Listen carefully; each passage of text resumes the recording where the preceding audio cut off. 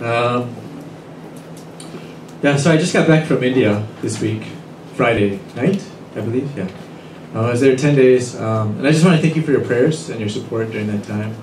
Um, it was a really good time to really see how there's a lot of leaders and disciples, true disciples, um, that are really arising in India. Um, and it was amazing to see how, how God's working there. And even I received grace, even though I was giving messages, like almost, yeah, I was giving messages every day, like two or three. Um, but even for me, it was a time of grace because, you know, so many people, even pastors that I was, um, that I was, you know, giving messages with, um, they too were coming to the realization for the first time that Jesus is the Christ. Um, you know, they said that they had read the Bible so many times, but they really didn't know what it was about. They were just reading it. And these are pastors.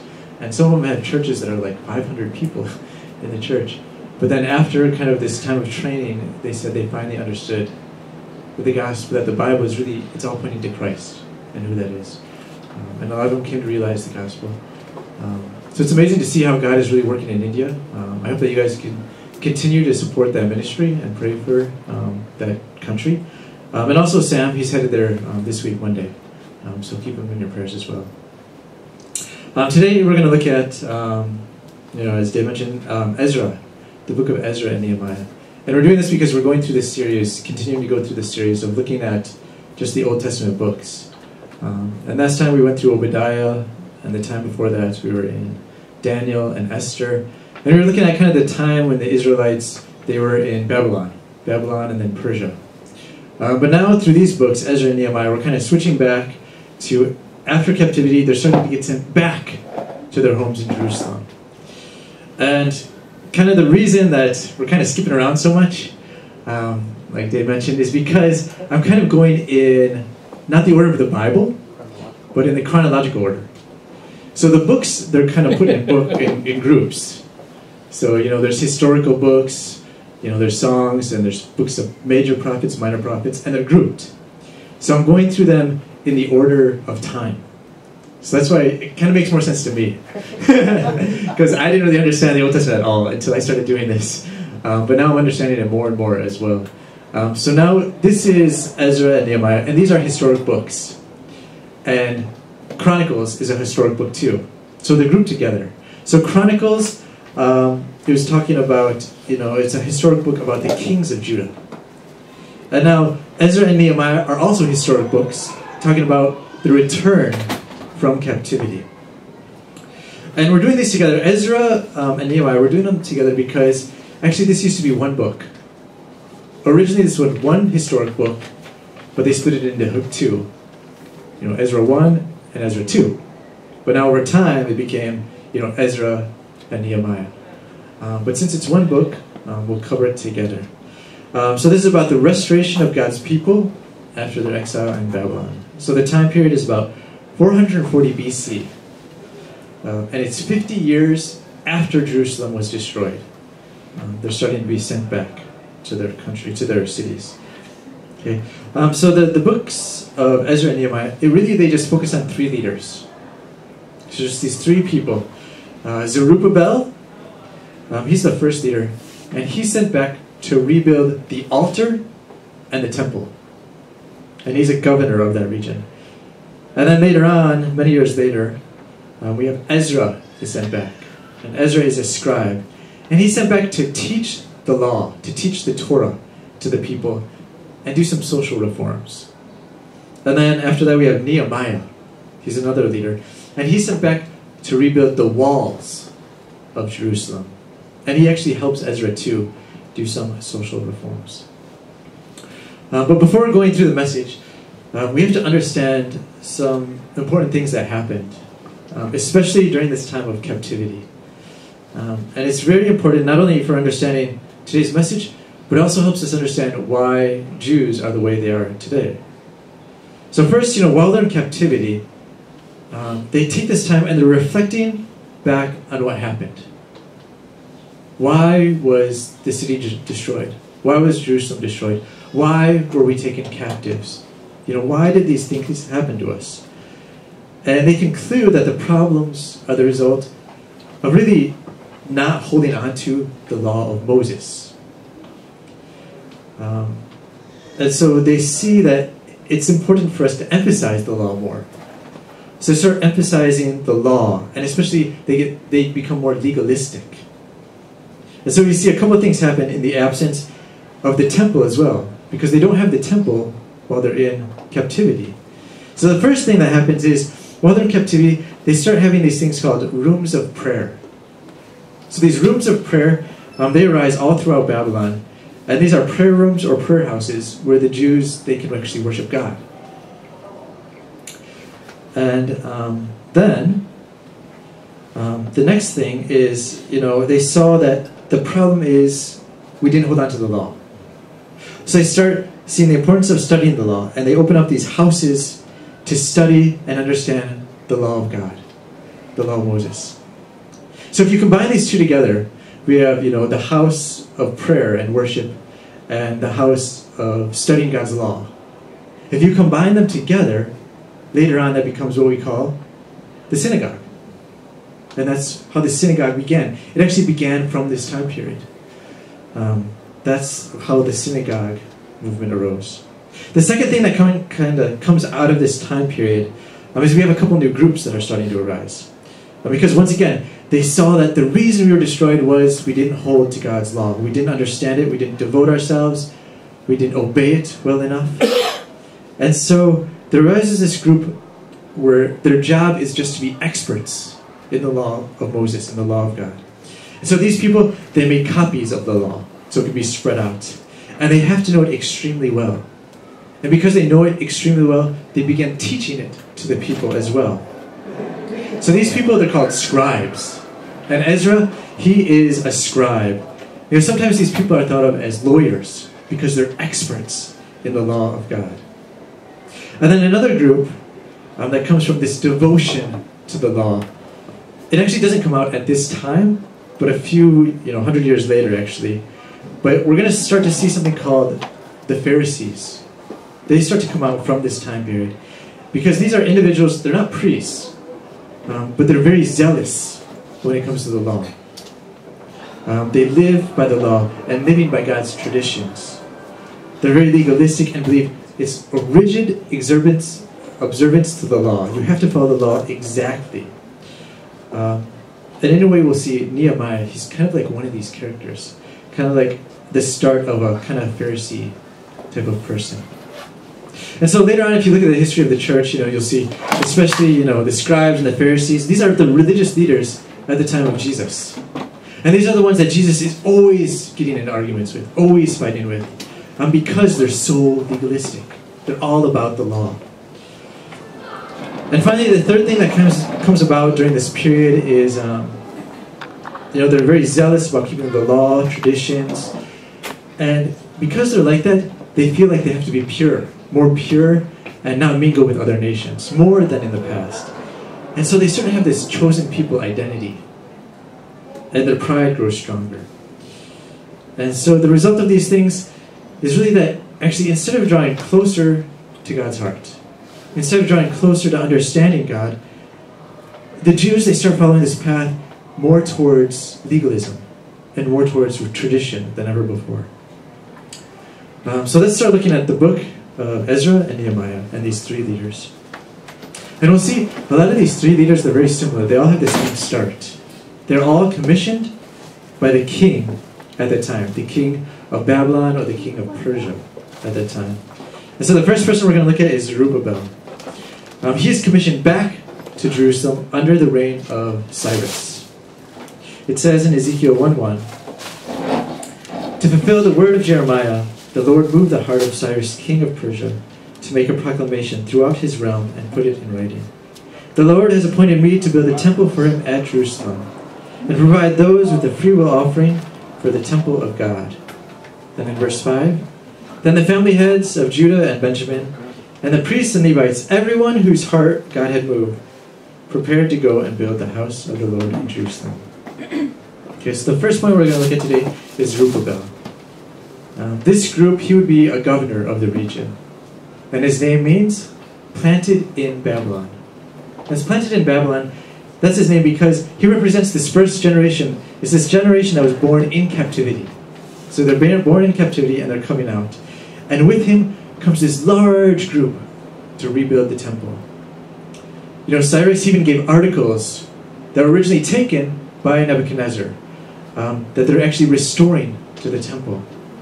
And so with Zerubbabel, there's around 50,000 people, 50,000 captives, they begin returning. And this group includes priests, Levites, singers, gatekeepers, and temple servants. So mainly the people that are devoted to the temple, because that's what he was called to do. So Zerubbabel, the priests, um, they begin rebuilding the temple. They first start with the altar, the altar, and they do everything according to the law of Moses. It says in chapter 3, verse 3 Despite their fear of the people, they built the altar and they sacrificed, both morning and evening. And they celebrated the Feast of Tabernacles. So they built the altar, that's the first step, and they begin to build the temple. And this is where we come to the passage we read today. You know, they're rebuilding the temple, but to me, I think they make a mistake here. It says, When the enemies of Judah heard that the exiles were rebuilding the temple of the Lord, they came to Zerubbabel and said, Let us help you build. Because like you, we seek your God, and have been sacrificing to him since the time of Esarhaddon, king of Assyria, who brought us here. So this seems to be a good thing, right? You know, they're building a temple, and all these people, they want to help. Let us help you build this. We seek your God. We want to worship your God. And this seems to fulfill a lot of scripture, pointing to how, you know, the kingdom of God is coming. All the nations are going to worship God. It seems like a good thing. But then how did they respond? It says in verse 4 But Zerubbabel and the rest of the families answered, You have no part with us in the building of our temple to our God. We alone will build it for the Lord, the God of Israel, as King Cyrus, the king of Persia, commanded us. You know, to me, after reading this, it just pointed out kind of how selfish the Jewish people had become at this point. You know, they have this chosen people identity. Um, you know, they believe they're the only ones that can worship God. They want to keep the temple and their God all to themselves, and they don't care about other people. They don't care about sharing this message. They don't care about evangelism, and they outright refuse to share this way of salvation to other people. And then at the setting of the foundation of the temple, they set the foundation and they began praising the Lord. But then it says, as they were praising the Lord, the older priests, they were weeping. For they had seen the former temple, and they saw how this one compared to the former one, and they cried. So at the same time, you hear people praising God, like this new generation, they're amazed, and then the older generation, they're weeping. They're sad over just how things have become. And then looking at what happens after they make this decision to refuse the people, there's a repercussion of refusing the people. That says, you know, the people around them whom they refuse to allow to help, they set out to discourage the people of Judah and make them afraid to go on building. So they lodge accusations against the people of Judah and Jerusalem. They're restoring the walls and they're repairing the foundations. It says, because these people are angry, they start using politics against the Israelites. They petition the king that if the city is built, these walls are restored, they will no longer pay taxes, they will no longer pay tribute, they will no longer do their duty. So they recommended the king to look at the history of the Israelites. What kind of people are they actually? And if they look at the history, they'll see why the city was destroyed. Because it is rebellious. So the king receives this letter and he does his research. And he discovers hey, this is true. This is right. So he actually issues a decree to make them stop working. So thus, the work of the house of God in Jerusalem, it came to a standstill. So they had to stop building the temple. You know, why does this happen? Why did it turn out this way for them?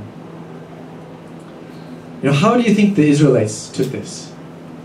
You know, we're forced to stop. We're building this temple of God, and we're forced to stop building. I think one of the ways they look at it is we're victims. You know, we're trying to worship God, we're trying to praise God, and this opposition came. It's against us, it's against God. You know, we're being persecuted for our faith. We must rise above it because we are the victims here. And this is what they did. You know, this is how they saw it. You know, thus they tried to find a way to overcome it. Because they were victims. But when I look at this, I see a different truth. I see that they were selfish. They didn't want to share the blessing of the temple, the blessing of God's presence with anyone. And they ultimately just saw themselves as victims because they were only looking out for themselves. They didn't care about other people. They just care about themselves and how things seem to them. And so the Israelites, to overcome this problem that they're facing as victims, they come up with a plan. So Zerubbabel and the people, they have this new plan. And it takes patience. And they wait. They wait till there's a new king in Persia. And they begin building the temple again. And they write a letter to the new king for him to check the archives and see how Cyrus issued this original decree for them to build the temple. So he's asking this new king, hey, go back to the beginning and look, King Cyrus issued this decree. We're supposed to build this. And so I think this is very kind of sneaky, isn't it? Kind of crafty. Um, they're kind of using some humanism and craftiness because they're waiting for this new king and they ask him to check the records from before how they were supposed to build the temple, but not telling him what happened after. So I think it's very smart. So, of course, Darius, the new king, he reissues the decree, and it's actually now everything is paid for by the treasury. So they continue to build, um, and this is a kind of a time when they're building, and there's prophecies from Haggai, um, Zechariah, who are prophets in the Bible. Uh, they're kind of prophesying during this time. And they end up finishing this temple. And they have all these sacrifices, they install the people to the positions, and then they celebrate the Passover. It says in chapter 622, they celebrated with joy because the Lord had filled them with joy by changing their attitude of King Assyria, so that he insisted them, so that he assisted them in the work of the temple. Um, so, kind of the first point that I want to make here is kind of what do we learn from this situation about the Israelites and how they do things? We see after returning from captivity, um, they're able to complete this work of the temple. But I think what they did and what they were able to complete, it wasn't necessarily the power of God that was with them. It was actually through their deceit, through their craftiness, deceiving the king into changing his orders to aid them. And it's interesting because after they're able to kind of deceive and trick the king to help them, they celebrate. They're like, look at what you accomplished. You know? And as I saw them, you know, celebrating and have this joy, I was thinking, is this really joy from God? Is this joy from the Lord? Or is this really joy from what they were able to do through their own effort, through their own craftiness, through their own deceit? Why are they celebrating so much? And the other thing is after they complete the temple after they complete the temple, something doesn't happen that should happen. You know, normally at the dedication of the temple, um, God would actually appear to the people. His presence would fill the temple and he would make himself known. This would show that God was with us. He's in this temple, he's with us. But that didn't happen. In the past, it happened. In Leviticus, at the altar of the tent of meeting, in Leviticus 9 23, it says, Moses and Aaron then went into the tent of meeting. When they came out, they blessed the people, and the glory of the Lord appeared to all the people. Fire came out from the presence of the Lord and consumed the burnt offering and the fat portions on the altar. And when all the people saw it, they shouted for joy and fell face down. So God was with them at the tent of meeting. His presence was known. And then later, they built the temple in 1 King 8. Solomon dedicates the temple and the ark is brought in. It says in verse 10 When the priests withdrew from the holy place, the cloud filled the temple of the Lord and the priests could not perform their service because of the cloud, for the glory of the Lord filled his temple. This is what was supposed to happen. But what happened after they completed the temple? The second temple. The presence of God didn't return. There's something different here. So the next leader we're going to look at is Ezra, the scribe. So he comes about 60 years after Zerubbabel. It says in chapter 7, verse 6, it says, Ezra was given favor of the king of Persia. He had devoted himself to the study and observation and observance of the law of the Lord, and to the teaching of its decrees and law in Israel. He was sent to teach the Torah and rebuild the community. And so he's doing kind of a, a type of social reform to the people. And with him, it's a smaller group that comes. It's only about 1,500 people. They make it safely there, of course. They do sacrifice. But then we see also for Ezra, this legalism starts to come out. It says many of the exiles at this time that were living in Jerusalem and this region, a lot of them had married non-exiles, so foreigners that were in the region. And so Ezra, he gets out the book, the Torah, and he commands them, You are to be a holy and separate people. He commands them to do a repentance prayer. And this is his prayer in chapter 9. He says, Some have mingled the holy race with the people around them. So after some anger and anguish, he prays to God. He prays for the sin of polluting this land. And all the people gather together and they confess their sin as well. And then Ezra issues a divorce decree. And this is new. This is his decree regarding those that had married foreigners. He says, Send away all those women and their children. Because he sees marriage as wrong. And he actually makes this law, he gives this law to divorce to just get rid of your families if you're married to a foreigner. But here's the thing, you know, God never commanded this. God, you know, God is actually opposed to divorce. Um, for those of you that are married, God wants you to stay married. You know, He doesn't want you divorced. There's only a special situation where He does allow divorce, and it's usually only for like unfaithfulness um, from the partner. But here in Ezra, He just creates His new law he creates this new law, and the criteria for the new law is simply if you're married to a foreigner, get a divorce. And so this becomes a law in the land. Why? Because Ezra and the leaders just decided. So this becomes kind of the word of God now.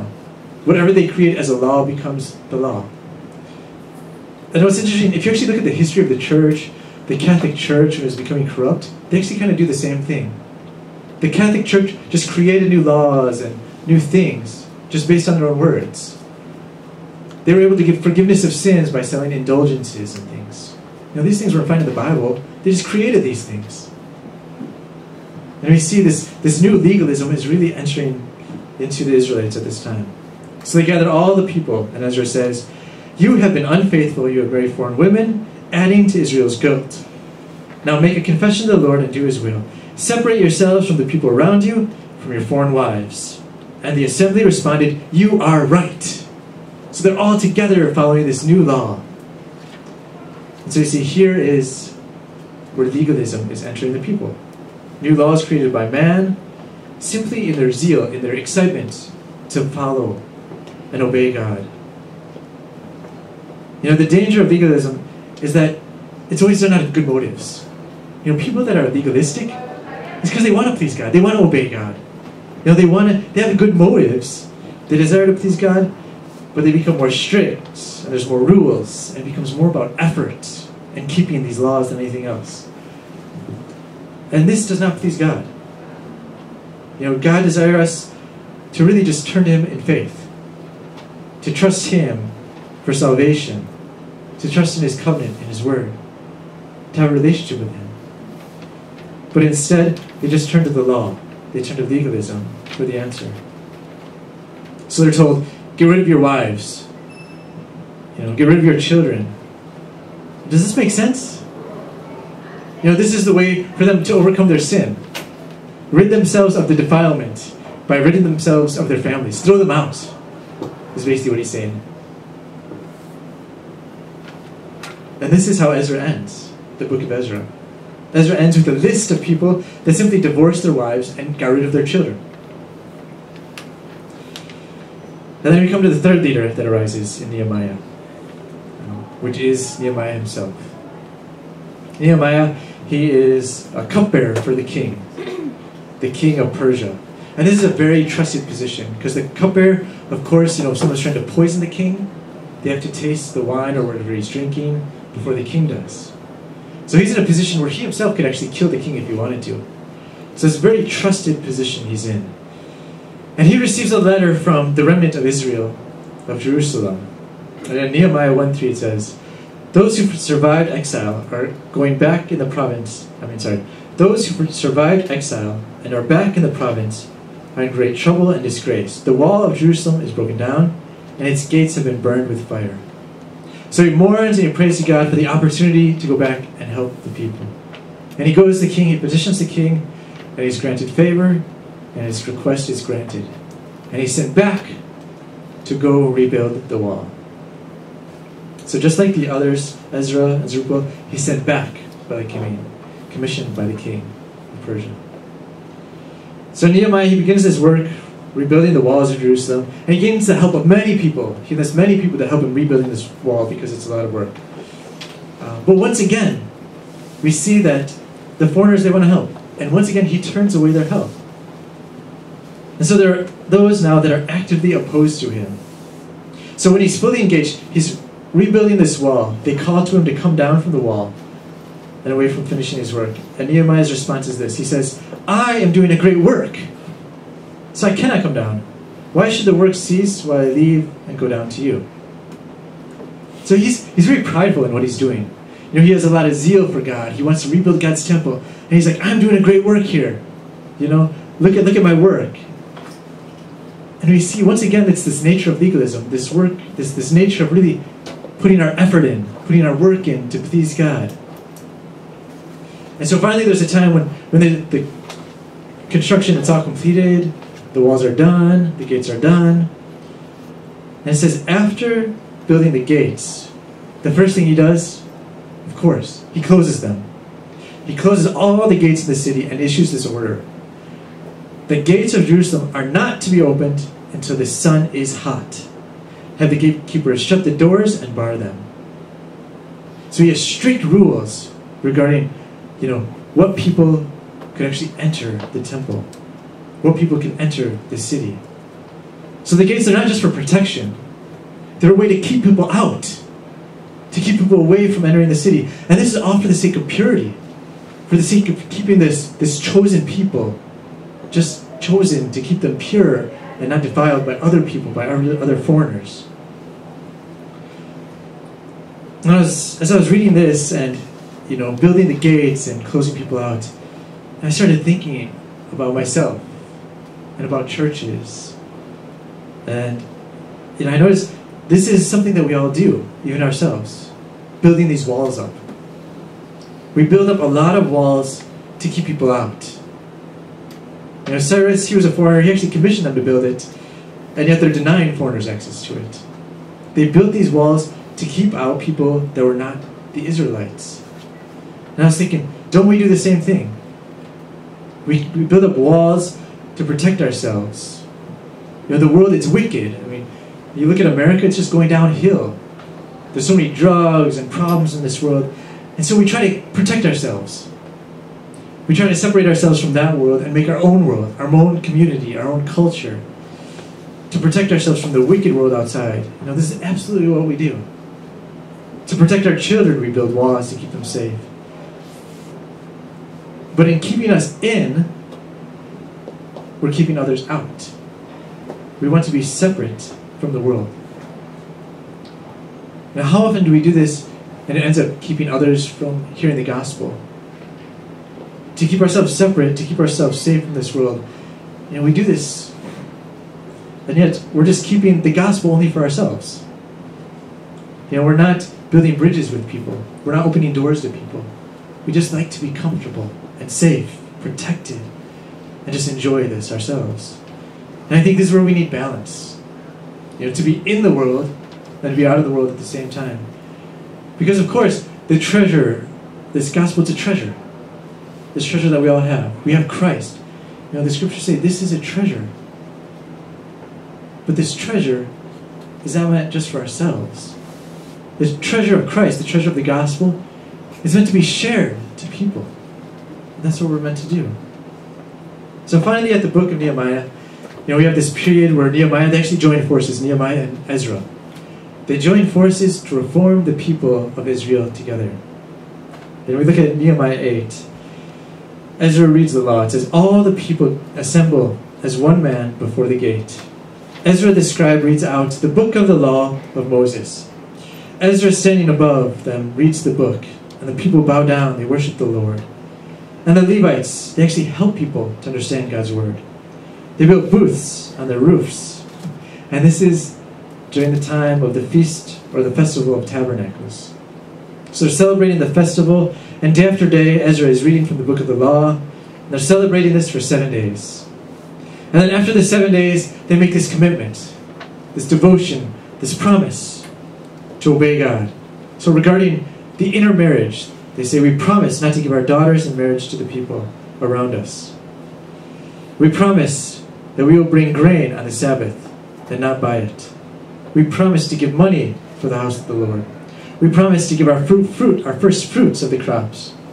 We promise to bring our firstborn cattle, herds as offering. We promise to give tithe. There's all these promises, these commitments. And then they have the dedication of the wall. With the priests and Levites, they purify the people. They purify the gates and the walls. And Israel, Ezra is leading this procession. It says, On that day they offered great sacrifices, rejoicing in the Lord, because the Lord had given them great joy. But then we see right away they make a mistake. And it comes back to this ideology of chosen people, of you know, purity, of legalism. In chapter 13 it says, On the day the book of the Moses, on the day the book of Moses was read aloud, they were told that no Ammonite, no Moabite would ever be admitted to the assembly of God. When the people heard this law, they excluded from Israel all those who were of foreign descent. So even those that were born, you know, and mixed with Israel's family, they were all kicked out of the city. They were all excluded from this. And so what is the result of all this work? So what happens? So Nehemiah ends up going back to Persia because he was just there a short time. And a few years later, many years later, he returns to check on the condition. So how did all this work that he and Ezra were doing? How did all this end up? Years later, he comes back. And on his return, he tours the city to check everything out and how it is. And as he tours, he sees that everything that he had done is all undone. We see the work of Zerubbabel, of building the temple. We see now the temple is neglected. You know, people that shouldn't be there are there. You know, the portions that were supposed to be given to the Levites are not given. All the rules are not kept. They're all doing things out of order. Nothing is going right. The temple is neglected. All the work of Ezra in giving them the law, they're all violating the law. People are working on the Sabbath. So Nehemiah he gets angry and he starts instructing the people, you know, return and, and start following the law, follow the Sabbath. And even the work of Nehemiah, all his work in building this wall, he has these merchants that begin stationing themselves all along the wall to sell goods, and he yells at them to stop. So Nehemiah is doing all these things that he thinks are good, and so he, he says to God, he asks God to see, look at this work. Look at my effort in getting these people to follow these social reforms of him and Ezra. And we see, though, that all these works, all these social reforms, the law that they were trying to impress on the people, none of it worked. None of it lasted. The people ended up returning to their old nature, their old ways. And he just tries through effort and through work to change them. And as he's trying to change them and getting them to follow the law, he actually ends up turning to violence, physically enforcing the law himself, especially about intermarriage. He thinks that's terrible. You have to be pure. So in chapter 22, verse 23, it says, In those days I saw the men of Judah married women from Ashdod, Ammon, and Moab. Half their children spoke the language of Ashdod or other people, but they didn't know the language of Judah. So he's angry because the children, they can't speak, you know, their language, the language of Judah. They're speaking foreign languages. He's so angry. And he says, I rebuked them and called curses down on them. I beat some of the men and pulled their hair. You are being unfaithful to God by marrying foreign women. And this is how Nehemiah ends. Nehemiah ends with him simply saying to God, Remember me for this, O God, and do not blot out what I have so faithfully done for the house of God and its services. You know, he's basically saying, Look at my works, look at my deeds. Um, so, in conclusion, kind of looking at this once again, you're looking at Ezra and Nehemiah. Actually, most people, they look at these books and they actually point out how pleasing to God these people are. Like Zerubbabel and Ezra and Nehemiah, they're very zealous. They're very zealous for God. And they desire to please Him. And in a way, they're right. It's good, in a way. Um, you know, they devoted themselves to God's work and will. They had this heart, really, to obey God, to worship Him, to please Him.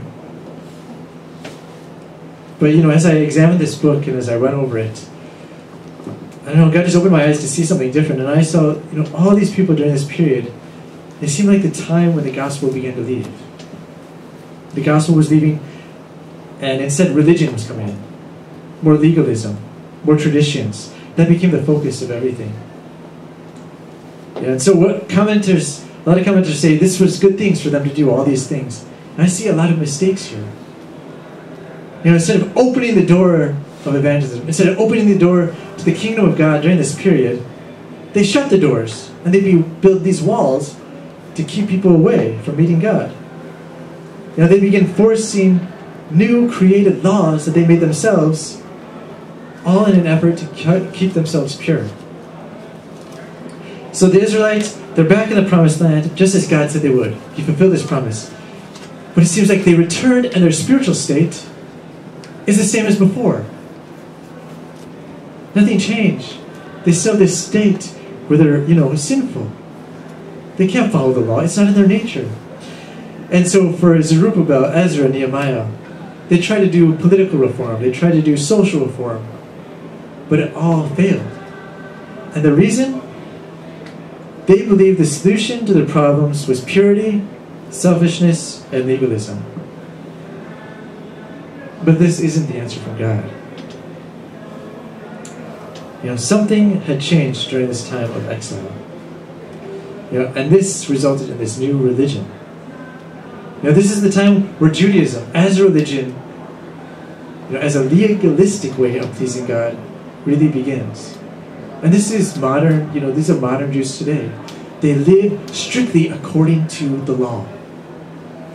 They can't recognize Christ because all they see is we just got to follow the law. So during this time, I think they lost the essence of the gospel. They lost the essence of God's word. And for the sake of national identity and purity, they forced themselves to separate from all nations. During this time, because the temple is destroyed, they focus more on the law and expand, and they get more details about it. You know, what Ezra was doing in, in adding to the law, that continued more and more. They actually created a new book called the Talmud, which is an expansion on the law, going through every little detail about what to do in every situation, every sin. You know, is this a sin? Is this a sin? And giving the details about it. They expand on it. And you see, this is the start of the synagogue. You know, this is where people like Nehemiah, who are zealous in upholding the law, start to arise. People like the Pharisees that lived during the time of Jesus. More and more, you know, they enter in this chosen people identity the holy race mentality. But the leaders, they're very zealous for the law and their own righteousness, but they lack love for others. And I think this is a mistake the Israelites made. But I think it's a mistake that a lot of us make too, a lot of churches today. You know, for the sake of purity, they kick out people that don't fit in the church, that look different, that act different. For the sake of protection, they close the doors to sinners that really need Christ. For the sake of salvation, they create more and more burdensome laws for people to follow. This isn't the solution of God. This is man's way. This is an empty religion just based on effort and works. There's evidence from you know these books and from the past that this doesn't work. It doesn't change people. It only ends in failure. And it just turns people into legalistic persecutors of others. like Nehemiah became, trying to pull out the hair and beat people to obey. But what is the solution that God gives? The solution is Christ. You know, the law is not used to purify us from our sins. It's only to point out our sins to us. The law tells us we are sinners. It doesn't cleanse us. It just points we are sinners and we need a savior. We fail to keep the law because we are sinners. But because we see ourselves as sinners, we also see we need a Savior, and that is why Christ was sent. That's why Christ was sent. To die for our sins in our place. So finally, I just want to close with, you know, where does Christ come out in Ezra? Where does Christ come out in Nehemiah? Now most commentators will say, you know, look at Ezra, look at Nehemiah, they're zealous, how zealous they were, and Jesus was kind of zealous too about you know God and following the rules in the temple. Um, but I kind of see something kind of interesting in Nehemiah nine. There's this really beautiful prayer um, that they offer up to God, and the entire focus of this prayer in Nehemiah is um, the entire focus is on God and God's covenant. And so they go back, and it goes. It says from the creation of the time of Abraham to Moses and onward, God has always been a God of giving life, a God of redemption, a God of faithfulness, a God of the covenant, a God of redemption, a God of guidance, a God of righteousness, a God of justice, a God of revelation. He's a God that fulfills His word. And even though the people sin, disobey, are stiff necked and arrogant, and turn away from Him, He's forgiving, gracious, and compassionate. He is slow to anger and abounding in love. He fights our battles and reveals His goodness. Even though the people rebel and kill God's prophets, God hears their cries and He rescues them from their enemies. God, in His great mercy, never abandons us. He is great, mighty, and awesome. And is a God who keeps the covenant of love. You know, this, this prayer is all about God. He's a God of the covenant. How does God fulfill these words? I think it's through Christ. You know, Romans 5 8. But God demonstrates his love for us in while we are still sinners, Christ died for us. You know, Christ is the fulfillment of the covenant. Genesis 3.15, the offspring of the woman will crush the serpent's head. The covenants given throughout time, the Passover.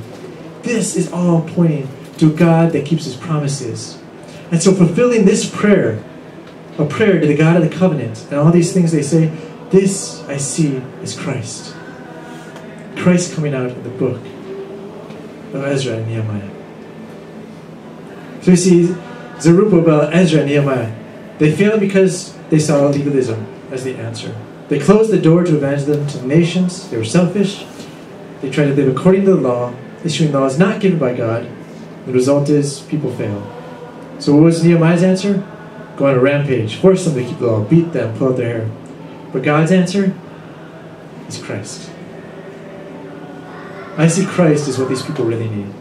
Only Christ can make a person whole. Only Christ can redeem them from their sins. And only through the Spirit of God can they actually gain a new heart. Can they be transformed? You know, we're saved by grace through faith, not by works. In Ephesians 2 8 9, it says that it's not by works, it's only by God's grace. The law doesn't save us, legalism does not purify us from sins. That's why we need Christ. And I think through this book, God is showing us the failure of the people.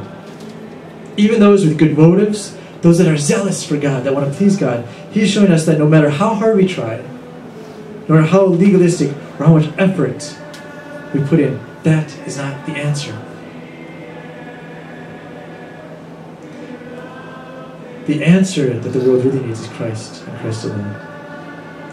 And we're called to share that treasure, not just keep it for ourselves.